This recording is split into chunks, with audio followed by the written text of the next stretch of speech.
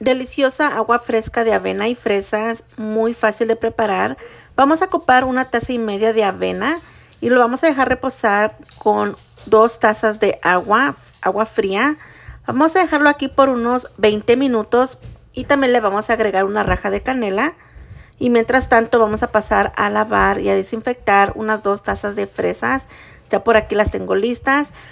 Después de 20 minutos pasamos la avena y las fresas junto con una taza de agua fría al vaso de la licuadora y licuamos por unos 3 a 4 minutos. Después lo pasamos por un colador, vaciamos toda la mezcla y una vez que ya tengamos por aquí toda nuestra mezcla, agregamos media lata de leche evaporada, una lata de leche condensada y un litro de agua fría o cuatro tazas. Lo mezclamos perfectamente y pueden agregar colorante color rojo o rosado para agregar más color.